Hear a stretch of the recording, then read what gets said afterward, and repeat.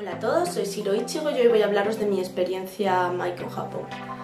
Y como igual no todos lo sabéis, estuve en Japón hace dos, tres semanas y una de las cosas que siempre habría querido hacer en Japón era vestirme de geisha o de Maiko.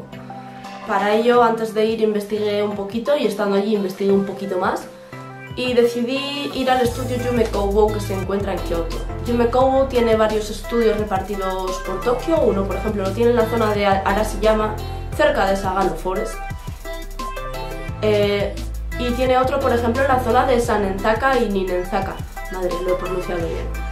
Yo en mi caso fui al de Gion porque está al lado de la estación de tren autobús de Kyoto y está muy bien situado.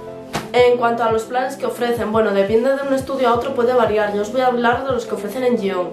Tenéis este panfletito informativo allí en Gion, donde os ponen los, planes así que ofrecen.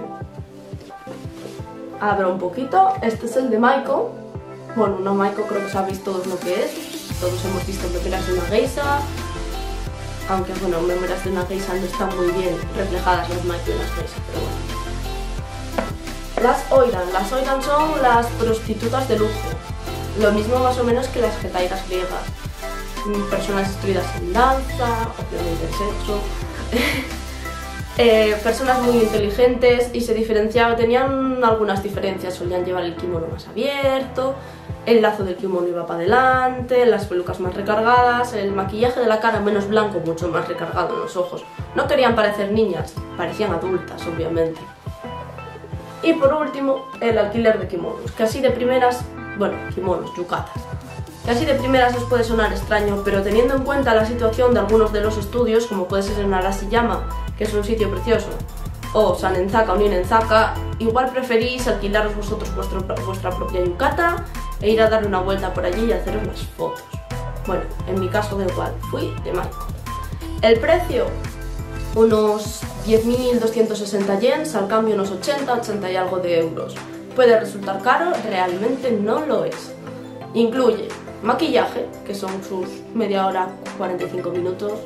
Escoger el kimono que quieres poner, tienen unos 20-30, mogollón.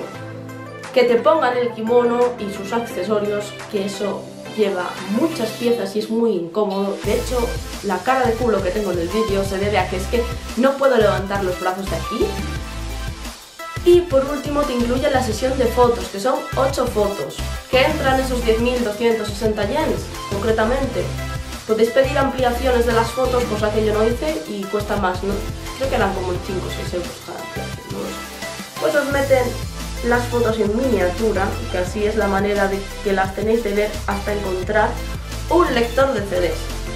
Te las meten todas en un CD perfectamente guardado, no se os va a rayar ni nada, en alta calidad. La verdad que es un precio que está bastante guay, los que estáis de pagar sesiones de fotos sabréis que son un poquito más caras o que no te ofrecen la ropa y esas cosas. En cuanto a la experiencia de vestiros de de bueno, si escogéis de Oiran, da igual. Os lo recomiendo 100%, porque ya no es solo el hecho de tener unas fotos bonitas, vais a ver cómo os maquillan, cómo os visten, y eso es algo que no vais a ver en casi ningún sitio. Y creo que ya no tengo nada más que contaros, así que os voy a dejar el pequeño vídeo que pude grabar relativamente, porque estaba prohibido grabar en algunas zonas, entonces grabé un poquito lo que es la entrada con el móvil, y luego ya grabé con la cámara cuando estaba puesta, puesta no, cuando estaba vestida con el kimono. Realmente, bueno, me grabó mi novio, me grabé yo. Y también os voy a añadir al final lo que son las fotos, el resultado de la sesión. Y espero que os guste.